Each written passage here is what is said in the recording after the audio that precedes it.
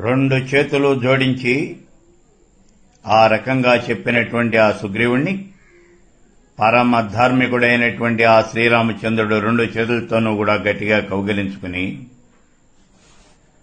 ఓ మిత్రుడా దేవేంద్రుడు వానలు కురిపించటంలోనూ అలాగే సూర్యభగవానుడు చీకట్లను పారద్రోలటంలోనూ చంద్రుడు స్వచ్ఛమైనటువంటి వెన్నెలను ప్రసాదించడంలోనూ ఆశ్చర్యం అనేది ఏం లేదయ్యా. అది వాళ్ళ యొక్క సహజమైనటువంటి ధర్మం. అదేవిధంగా నీ వంటి వాడు మిత్రుడికి ప్రత్యుపకారం చేయటం అనేది విచిత్రము అనేది ఏం కాదు. నీ వంటి వాడు మిత్రుడికి తప్పకుండా ప్రత్యుపకారం అనేది చేసి తీర్తాడు. ఇందులో ఆశ్చర్యం అనేది ఏం లేదు. ఓ సుగ్రీవుడా నువ్వు శత్రువుల్ని తాపం ఎక్కించేటటువంటి వాడివి మహామంచివాడివి. నువ్వు నీ మిత్రులకు ఎప్పుడూ కూడా ప్రత్యుపకారం చేసి సంతోషపెడుతూ ఉంటావు. నువ్వు చాలా చక్కగా మాట్లాడతావు. ప్రియవాదివి ఈ విషయాలన్నీ కూడా నాకు తెలుసు. ఓ మిత్రుడా నువ్వు గనక నాకు తోడుగా ఉండేటట్లయితే సమస్తమైనటువంటి శత్రువుల్ని కూడా నేను యుద్ధంలో జయించి వేస్తాను నువ్వు నాకు మనస్సు కలిసినటువంటి ఆప్తమిత్రుడివి. నాకు తోడుగా ఉండడానికి నువ్వే సరి అయినటువంటి వాడివి అన్నాడు. ఇలా అంటూ ఓ సుగ్రీవుడా పూర్వకాలంలో ఆత్మ వినాశనం కోసం అనుహ్లాదుడు అనేటటువంటి వాడు పులోమి యొక్క సహాయంతో దేవేంద్రుని మోసం చేసి శచీదేవిని ఎత్తుకుపోయాడయ్యా. అదేవిధంగా ఆ రావణాసురుడు మారీచుడి యొక్క సహాయంతో నన్ను మోసం చేసిన భార్య అయినటువంటి ఆ వైదేహిని ఆ సీతాదేవిని ఎత్తుకుపోయాడు. దేవేంద్రుడు అనుహ్లాదుడిని పులోమిని ఇద్దరిని కూడా చంపిపారేశాడు అలాగే ఇప్పుడు నేను కూడా మారీచుడిని చంపేశాను ఇక మిగిలినటువంటి వాడు రావణాసురుడు అంతే.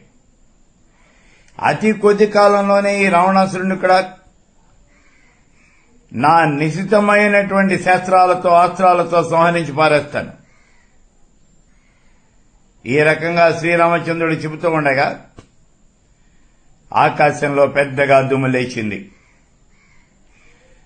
అంతవరకు తీక్షణమైనటువంటి కాంతులతో తేజరులతో ఉన్నటువంటి ఆ సూర్యుడు ఆకాశంలో కనిపించకుండా పోయాడు. ఆకాశంలో లేచినటువంటి ఆ దుమ్ముకి దురం దుమారానికి దిక్కులు అనేవి ఏమాత్రం కూడా తెలియకుండా పోయినాయి. మహా పర్వతాలతోనూ మహా అరణ్యాలతోనూ నిండి ఉన్నటువంటి ఆ భూమి అంతా కూడా చెలించిపోవటం మొదలుపెట్టింది ఒక్కసారిగా. ఈ సమయంలో పెద్ద పెద్ద పర్వతాలకిలాగా ఆకారం కలిగినటువంటి వాళ్ళు మహాబలవంతులు తీక్ష్ణ దంష్టులు అయినటువంటి వానర వీరులు అనేక మంది భూమి అంతా ఆవరించి ఎక్కడెక్కడ వాళ్ళు కూడా అక్కడికి వస్తూ ఉన్నారు.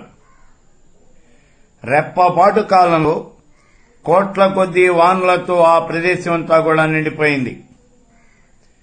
అలా వచ్చినటువంటి ఆ వానరులందరూ కూడా నదీ తీరాల్లోనూ సముద్ర ద్వీపాలలోనూ ఇంకా మహా మహా అరణ్యాల్లో నుంచి అలా మహా మేఘాలాగా గర్జిస్తూ బయలుదేరి వచ్చేస్తూ ఉన్నారు.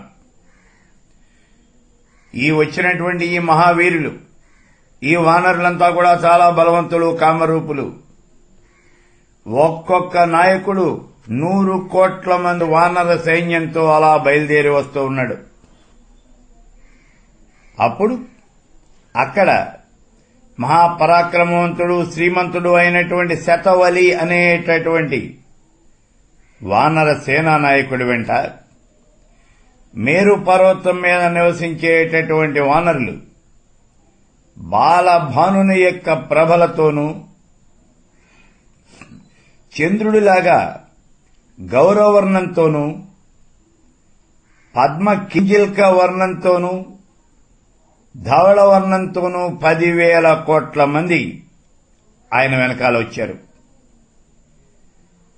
కాంచన పర్వతం వంటివాడు మహావీరుడు సూర్యుడు తార యొక్క తండ్రి అయినటువంటి సుషేణుడు వెయ్యి కోట్ల మంది వానరులతో అక్కడ కనిపించాడు.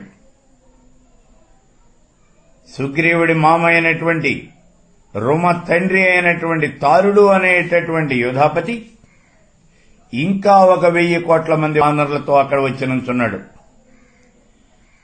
కేసరి అనేటటువంటి వానర సేనా నాయకుడు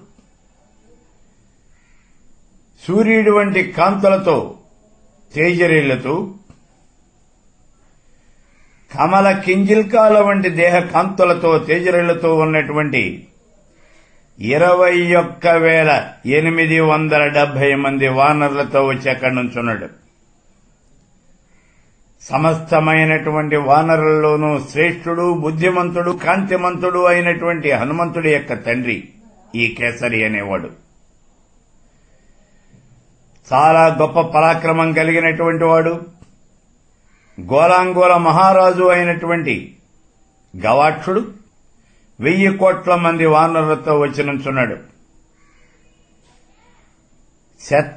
శత్రువీరులను అలాగా నాశనం చేసేటటువంటి ధూమ్రుడు రెండు వేల కోట్ల మంది భయంకరమైనటువంటి బల్లోక వీరులతో వచ్చి నుంచున్నాడు. మహావీరుడైనటువంటి పవనసుడు అనేటటువంటి వానర యోధపతి పెద్ద పెద్ద కొండల వంటి ఆకారాలు భయంకరమైనటువంటి ఆకారం కలిగినటువంటి మూడు కోట్ల మంది వానరులతో వచ్చి దిగాడు. మహాకాయుడు నల్లటి కాటుగా రాశి వలె కనిపించేటటువంటి నీలుడు అనేటటువంటి వానర యోధపతి పది కోట్ల మంది వానరులతో వచ్చి అక్కడ నుంచున్నాడు